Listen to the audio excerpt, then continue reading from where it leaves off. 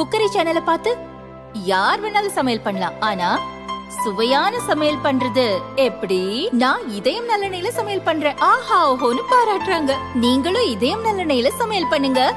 பாராட்ட வாங்குங்க. தினம் தோறும்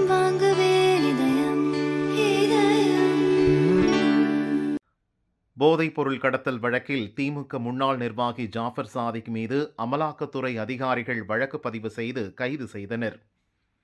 அவரை காவலில் எடுத்து விசாரித்து வருகின்றனர்.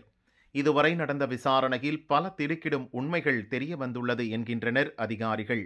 ஜாஃபர் சாதிக் அவரது மனைவி அமீனா பானு ஆகியோரின் வங்கிக் கணக்குகளை ஆய்வு செய்து அதன் அடிப்படையில் விசாரணை நடத்தி வருகிறோம்.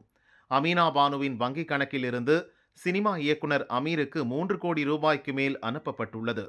இது போதைப்பொருள் கடத்தலில் சம்பாதித்த பணம் என்பதை ஜாஃபர் சாதிக் உறுதி செய்துள்ளார்.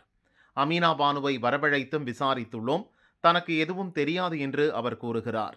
ஆனால் வெளிநாடுகளில் இருந்து பானுவின் வங்கிக் கணக்கிற்கு பணம் வரவு வைக்கப்பட்டுள்ளது. அதேபோல ஜாஃபர் சாதிக்கின் இரண்டாவது தம்பி மைதீன் வங்கிக் கணக்கில் பதிவாகியுள்ள பண வரவுகள் சந்தேகத்தை ஏற்படுத்துகின்றன. ஜாஃபர் சாதிக் மூலமாக சில முக்கிய புள்ளிகளுக்கு இருபத்தோரு கோடி ரூபாய் அனுப்பி வைக்கப்பட்டுள்ளது.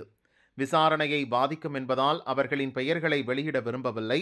போதைப்பொருள் கடத்தல் வாயிலாக சம்பாதித்த பணம் பேரிச்சம்பழம் இறக்குமதி வியாபாரத்தில் ஈடுபட்டது போல கணக்கு காட்டப்பட்டுள்ளது. இதில் முக்கிய நபராக அப்துல் ஃபாசித் உள்ளார். அவரையும் விசாரிக்க உள்ளோம்.